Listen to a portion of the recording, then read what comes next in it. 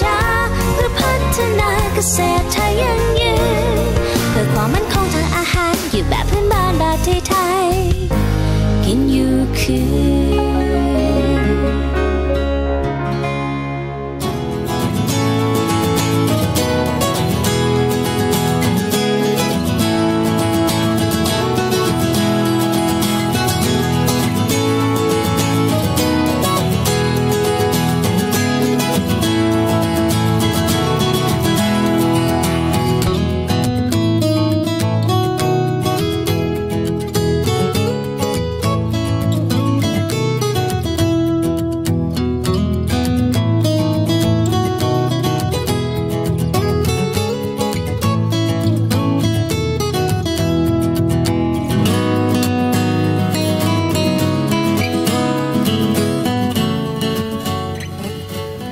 ดีตอนเช้าค่ะ พบกับรายการกินอยู่คือ รายการที่ใช้อาหารหนึ่งจานเปลี่ยนแปลงโลกทั้งใบค่ะ วันนี้เรามีโอกาสมาเที่ยวกันที่จังหวัดนครราชสีมาหรือว่าโคราชนะคะ และตอนนี้ได้อยู่ที่อำเภอขามสแกแสงค่ะ ชาวบ้านที่นี่เขาปลูกพริกกันเป็นอาชีพเสริมนะคะ แล้วก็นำผลผลิตที่ได้มาแปรรูปให้เป็นพริกแห้งหรือว่าน้ำพริกค่ะ ความพิเศษของน้ำพริกที่นี่นะคะ นั่นก็คือการที่เราสามารถรู้ที่มาที่ไปของอาหารได้ในทุกขั้นตอนเลยค่ะ เพราะชาวบ้านที่นี่เขาปลูกพริกเอง ปลูกหอมเอง ปลูกกระเทียมเอง เก็บผลผลิตเองด้วยและที่สำคัญนะคะ เขาตำน้ำพริกเองด้วยค่ะกินอยู่คือ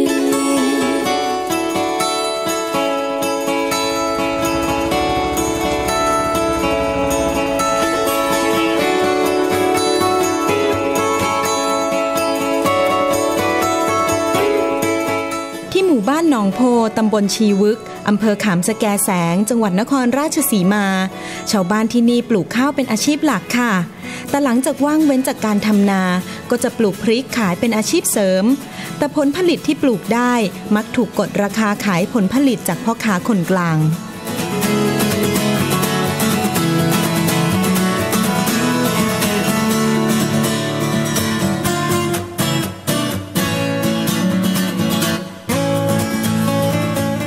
ริติยากริเชิด อดีตครูสอนขหกรรม ที่อยากเห็นเกษตรกรในบ้านเกิดตนเองสามารถพึ่งพาตัวเองได้ ไม่ถูกเอารัดเอาเปรียบ หรือออกไปขายแรงงานต่างถิ่น จึงเกิดแนวคิดรวมกลุ่มกับชาวบ้านเพื่อต่อรองราคาขายผลผลิต จากนั้นก็ต่อยอดความคิดไปสู่การรวมกลุ่มแม่บ้านนำพริกสดที่แต่ละครอบครัวปลูกได้ มาแปรรูปเป็นพริกแห้งและน้ำพริกรสชาติต่างๆ พริกที่นี่พิเศษตรงที่สามารถรู้ที่มาที่ไปของอาหาร เพราะวัตถุดิบเกือบทุกชนิดของชาวบ้าน ปลูกเองและหาได้เองในท้องถิ่นค่ะ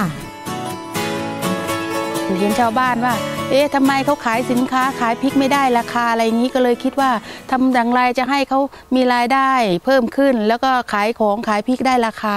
ก็เกิดแรงบันดาลใจว่ารวมกลุ่มขึ้นมา พอดีก็มีเจ้าหน้าที่ ทางราชการมาช่วยด้วยค่ะ ก็ทำให้ชาวบ้านมีงานทำตลอดทั้งปี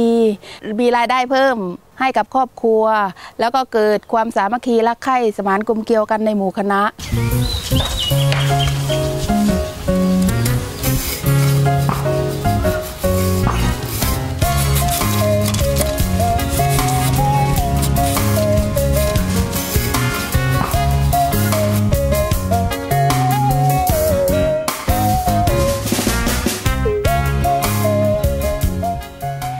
ว่าที่คนหนองโพจะมีน้ำพริกอร่อยๆ ที่เป็นฝีมือของพวกเขาตั้งแต่ต้นจนจบกระบวนการ ทุกอย่างก็ไม่ได้ราบรื่นไปอย่างง่าย ๆนะคะ เพราะว่าพวกเขาต้องเจอกับปัญหาในการปลูกพริก ทั้งในเรื่องของการเกิดแมลง แล้วก็ในเรื่องของการกลายพันธุ์ค่ะ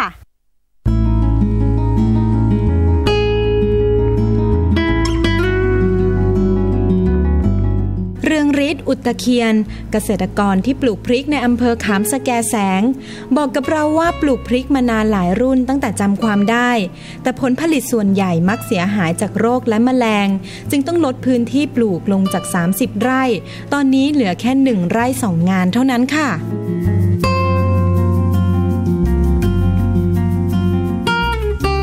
มากจะเป็นโรคโคนเน่าอย่างหนึ่งแหละโรคโคนเน่าเนี่ยมันจะเป็นตอนฤดูฝนน่ะ แล้วอันที่สองนี่ก็กุ้งแห้งบ้านแถวบ้านเรานี่เขาเรียกว่ากุ้งแห้งแต่ภาษาอังกฤษก็อะไรแอนแทกโนด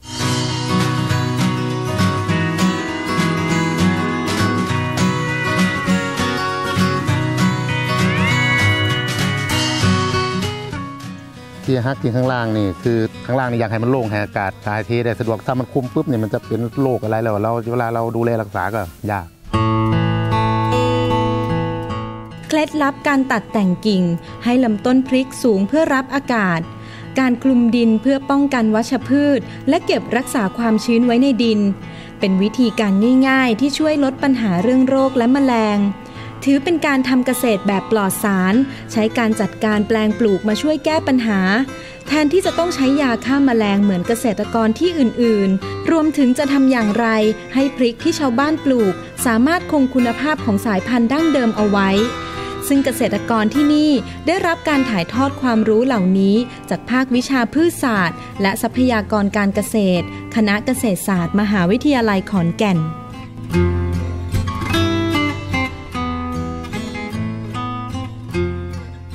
แล้ววันนี้ค่ะอาจารย์สุชีราลงมาเยี่ยมแปลงพริกของชาวบ้านพอดีเลยค่ะ เดี๋ยวเราเข้าไปคุยกับอาจารย์กันว่าอาจารย์มีส่วนช่วยในการดูแลพันธุ์พริกของชาวบ้านยังไงกันบ้างค่ะ อาจารย์อยู่ตรงนู้นค่ะ อาจารย์สวัสดีค่ะค่ะ สวัสดีค่ะ อาจารย์คะต้นนี้นี่เป็นพริกพันธุ์อะไรคะอ่านี่เป็นพริกขี้หนูหอมขาวนะคะค่ะอืมอันนี้เป็นพันธุ์ที่เราเพิ่งเอาเข้ามาให้เกษตรกรเขาลองรู้ใหม่นะอ๋คะอแปลว่าพันธุ์นี้เนี่ยเป็นพันธุ์ที่อาจารย์นำเข้ามาค่ะนำเข้ามาค่ะอ๋อแล้วก่อนหน้านี้ของชาวบ้านนี่เขาเขาใช้พันธุ์อะไรอะคะอ่าแต่เดิมในยชาวบ้านเขาก็จะปลูกหลากหลายพันธุ์นะคะอืมก็ที่เห็นไกลๆนี่ก็จะเป็นลักษณะของพันธุ์ที่ หลากหลาย แล้วเขาเก็บไปก็พันธุ์มันก็จะไม่นิ่งนะคะแล้วก็ต้องเอาพันธุ์ที่คิดว่าน่าจะดีและเหมาะสมสำหรับเขามาให้เขาทดลองใช้อืมแล้วก็หลาย ๆ พันธุ์นะคะและให้เขาเลือกดูว่าพันธุ์ไหนน่าจะเหมาะกับเขามากที่สุดคำว่าไม่พันธุ์ไม่นิ่งนี่หมายถึงว่าที่เขาบอกว่าพันธุ์มันมีการปนกันค่ะ อันนี้มัพันธุ์เดียวกันมัอ่าในค่ะในปลูกไปนี่มันอาจจะมีผลใหญ่ผลเล็กต้นสูงต้นเตี้ยนะคะไม่สม่ำเสมออย่างนี้ยค่ะคือความไม่นิ่งของมันนะคะอืมเนื่องจากว่าเขาเขาเก็บพันธุ์ของเขาเอง อย่างนี้เราแก้ปัญหาพันธุ์ไม่นิ่งยังไงคะอาจารย์ค่ะพ อเราเอาพันธุ์ใหม่เข้ามาให้เขาเลือกนะคะถ้าเขาเลือกพันธุ์นี้แล้วเนี่ยนะคะเราก็จะเข้ามาดูแลช่วยดูแลเขาค่ะนะคะว่าจะทำยังไงถึงจะเก็บพันธุ์นี้ให้ได้เหมือนเดิม ปลูกทีไรก็ได้เหมือนเดิมทุกทีใช่ไหมคะอืมก็มาช่วยตั้งแต่ต้นเลยเลืค่ะอกต้นนะคะ ดูแลรักษาต่างๆ บางพันธุ์ก็จะเหมาะสำหรับพริกสดบางพันธุ์ก็เหมาะสำหรับพริกแห้งนะคะบางพันธุ์ก็อาจจะเหมาะสำหรับตลาดอย่างตลาดส้มตำอะไรต่างๆพวกนี้ใช่ไหมคะบางพันธุ์ก็เป็นเหมือนเหมาะสำหรับไอ้น้ำพริกกะปิ อะไรอย่างนี้เป็นต้นนะคะเพราะฉะนั้นค่ะเรามาให้เขาเลือกดูแล้วเขาก็ปลูกพอปลูกแล้วเราก็ต้องมานั่งเลือกกับเขาอีกทีว่าจะทำยังไงให้เขาเก็บเมล็ดพันธุ์ต่อได้ ก็มีเทคนิคพิเศษให้เขาช่วยสอนเขาด้วยนค่ะ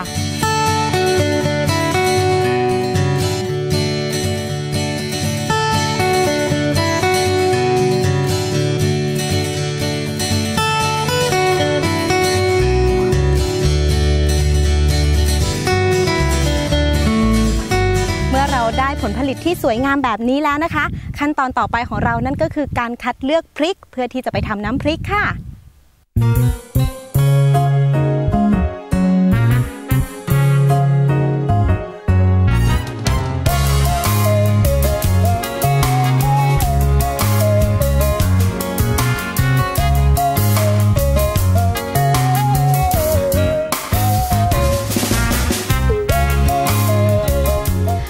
จะไปตำน้ำพริกกันนะคะ ขั้นตอนที่สำคัญอย่างหนึ่งนั่นก็คือการคัดเลือกวัตถุดิบค่ะ และนอกจากพริกแห้ง หรือว่าจะเป็นส่วนผสมอื่นๆเนี่ยนะคะ ที่นี่ก็สามารถหาได้จากในท้องถิ่นทั้งนั้นเลยค่ะ และตอนนี้นะคะพี่กิติยาก็กำลังเลือกพริกแห้งอยู่ข้างในค่ะ ยังไงเดี๋ยวเราเข้าไปคุยกับพี่กิติยากันนะคะ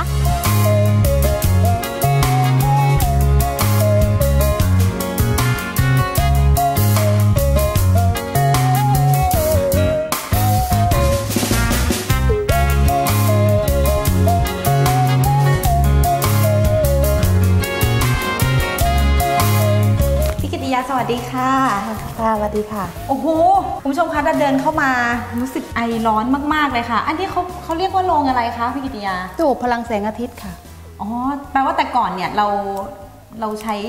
ปกติที่เคยเห็นนี่คือเขาก็ใส่ถาดแล้วก็ตากกลางแดดกันค่ะ แต่ก่อนก็ตากที่พื้นเลยค่ะ เอาแกบรองแล้วก็ตากพื้นเลยค่ะ ค่ะ อย่างนี้นี่เราตากกี่วันคะเนี่ยกว่าจะได้พริกแห้งแบบนี้ ถ้าพริกมาสดๆถ้าพริกเม็ดโตก็ประมาณหนึ่งอาทิตย์ ถ้าพริกเม็ดเล็ก ๆ แบบนี้ก็สามวันค่ะ ถ้าที่สังเกตเนี่ยเราก็จะมีพริกเม็ดใหญ่แบบนี้ใช่ไหมคะ แล้วก็มีเรียวๆแบบนี้ด้วยอ่าอันไหนอีกเอ่ยที่ต่างกันเล็ก ๆ แบบนี้ เอ๊ะสามชนิดนี้พริก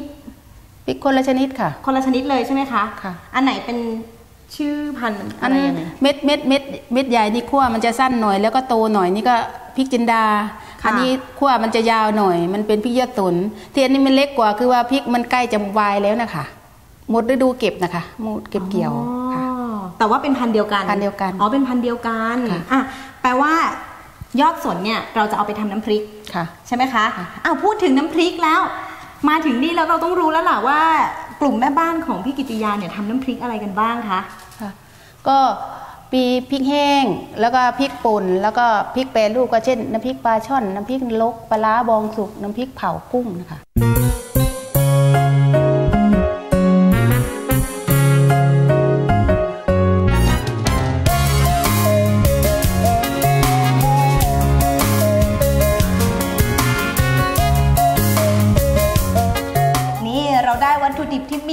าพพร้อมที่จะเข้าครัวทำน้ำพริกกันแล้วค่ะ งั้นเดี๋ยวต้องรบกวนพี่กิติยาสอนเราทำน้ำพริกสักสองอย่างนะคะ ค่ะ ได้เลยค่ะ เชิญเลยค่ะอาไปเข้าครัวเลยดีกว่าค่ะค่ะกินอยู่คือ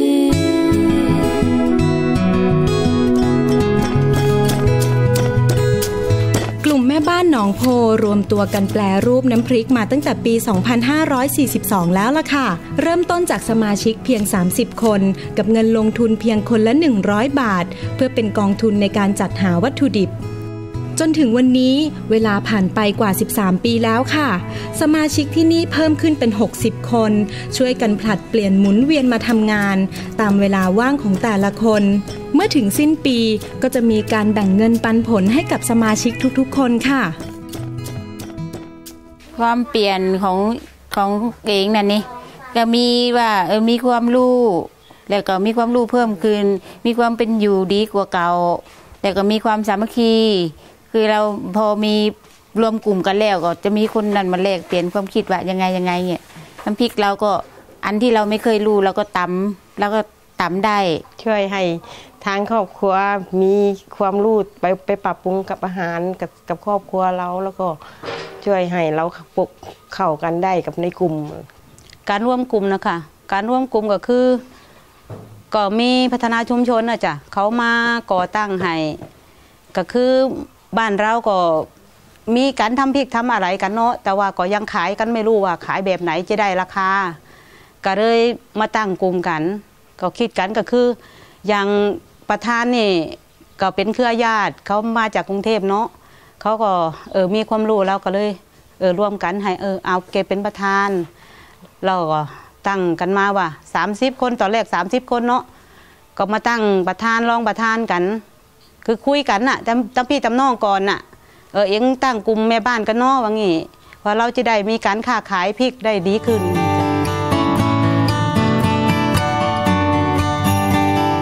สิ่งที่ได้จากการรวมกลุ่มของชาวบ้าน ไม่เพียงแต่ได้วิชาความรู้ และทำให้เกิดความกลมเกลียวกันในชุมชนเท่านั้น แต่การตำน้ำพริกของคนที่นี่ยังช่วยรักษาภูมิปัญญาท้องถิ่น รักษาความมั่นคงทางอาหารด้วยการปลูกพืชที่หลากหลาย ให้ไว้เป็นคลังอาหารที่ยั่งยืนของคนในชุมชนอีกด้วยค่ะกินอยู่คือ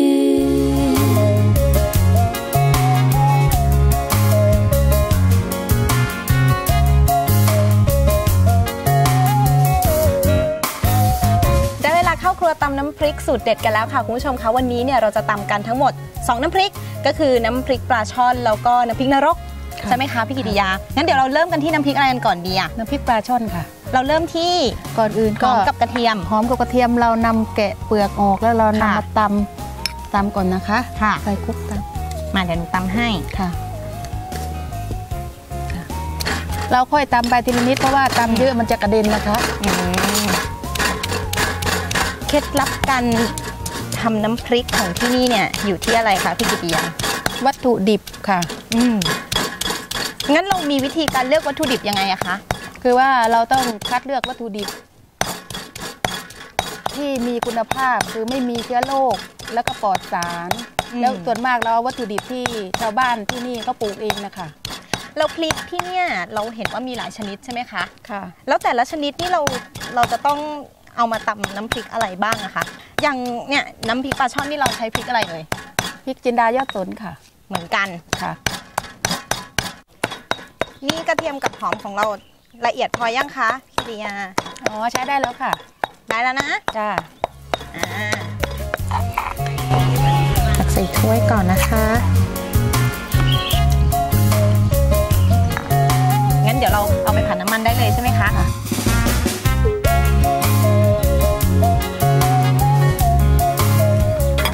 น้ำมันนี่เราต้องใส่เยอะขนาดไหนอะคะ ใส่โพประมาณค่ะประมาณหนึ่งช้อนก่อนนะคะ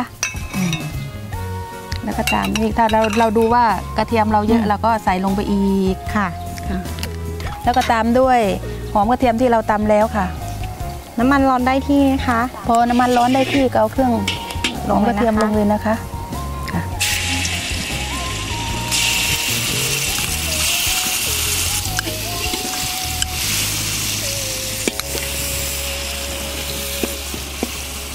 ดี๋ยวหนูช่วยผัดค่ะ เพราะว่าพี่กิติยาต้องเป็นคนปรุงแล้วล่ะ ค่ะ กระทะใหญ่ดีจัง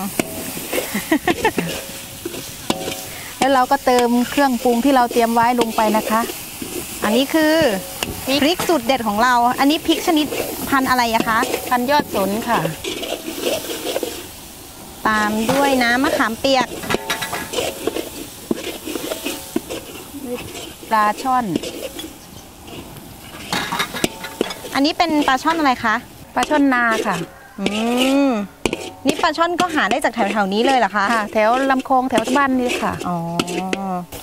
น้ำพริกของเรานี่จะต้องเปรี้ยวเค็มหรือหวาน หรือยังรไง สชาติของเรานี่จะกลมกล่อมคือว่า อืมเปรี้ยวเค็มหวาน แล้วก็ค่ะหอมอร่อยนะคะ เป็นไงคะ อย่างนี้ได้ยังเอ่ย เกือบได้แล้วค่ะ นี่ถ้าเราผัดต่อไปเรื่อย ๆ นี่มันมันจะแห้งเกินไปไหมคะให้เราดูกับว่าเราพอประมาณถ้าแห้งเกินไปก็ไม่ดีนะคะ แต่ว่าเมื่อกี้เห็นพี่กิติยาบอกว่าถ้าผัดนานหน่อยก็จะเก็บไปได้นานขึ้นค่ะอ๋อเพราะอะไรอะคะ เพราะว่าเมื่อมันแห้งแล้วพวกเชื้อจุลินทรีย์มันก็จะไม่ขยายตัวเร็วเกินไปค่ะอ๋อ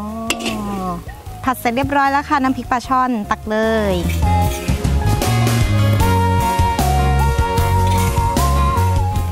พริกนี่ดูเหมือนทำไม่ยากนะคะพี่กิติยาแต่ว่าทำให้มันอร่อยเนี่ยต้องมีวัตถุดิบที่สดใหม่ใช่ไหมเสร็จแล้ว น้ำพริกปลาช่อน อะงั้นเดี๋ยวเราไปวางไว้กับ ผักเครื่องเคียงนี่ใช่ไหมคะ เสร็จแล้วค่ะ นี่กับผักเครื่องเคียงจานใหญ่ น้ำพริกปลาช่อนค่ะ สำหรับน้ำพริกต่อไปค่ะ เป็นน้ำพริกนรกอ่าเครื่องปรุงเรามีนิดเดียวเองค่ะ ต้องเริ่มจากอะไรเอ่ย เริ่มจากเอาน้ำเทใส่ค่ะ ใช้เท่านี้ได้ใช่ไหมคะค่ะโอเค แล้วก็เกลือน้ำตาล เกลืเกลืออลงไปหนึ่งช้อนหนึ่งช้อนโต๊ะค่ะ แล้วก็น้ำตาลหนึ่งช้อน ช้อนเหมือนกันค่ะค่ะ แล้วก็ปลาลงเข้าไปลงไป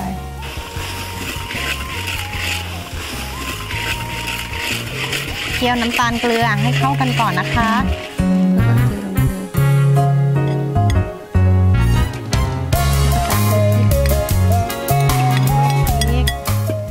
อันนี้เป็นพริกง่ายเอ่ยพริกที่เราทอดแล้วนะคะ อันนี้คือพริกพริกแห้งเอามาทอด แล้วก็เอาไปตำให้ละเอียดอีกทีหนึ่งใช่ไหมคะค่ะโอ้โห มาหนูช่วย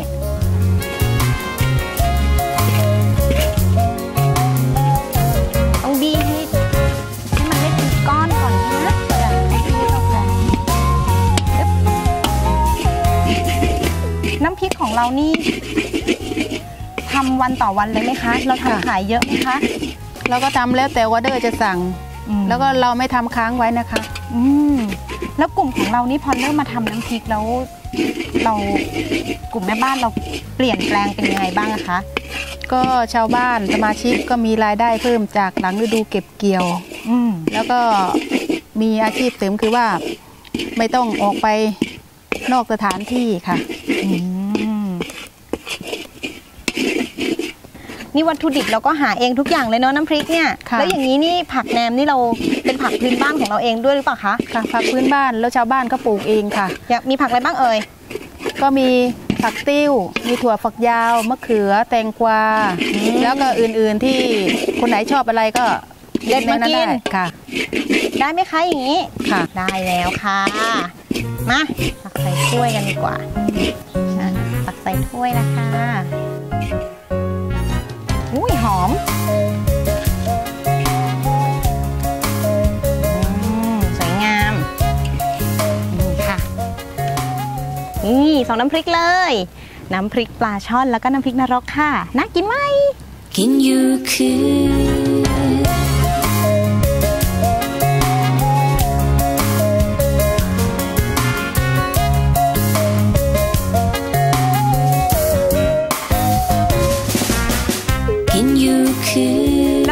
เราต้องขอขอบคุณพี่กิติยามากเลยค่ะ ที่มาบอกวิธีการทำน้ำพริกสูตรเด็ด ให้กับดาแล้วก็คุณผู้ชมในวันนี้ขอบคุณมากเลยค่ะ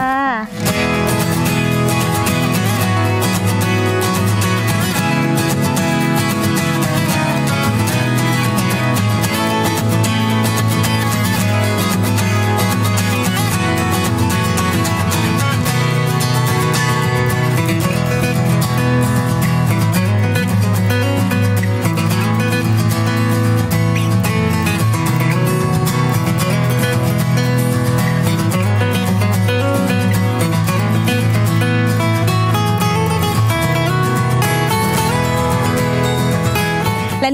ถีชีวิตที่เรียบง่ายของชาวบ้าน ที่ใช้วัตถุดิบธรรมชาติที่มีอยู่ในท้องถิ่น บวกกับความเข้มแข็งของคนในชุมชน ในการสร้างอาชีพ และก็ถือว่าเป็นทางออกที่ทำให้พวกเขามีความสุขในแบบพอเพียง ในบ้านเกิดของตัวเองนะคะ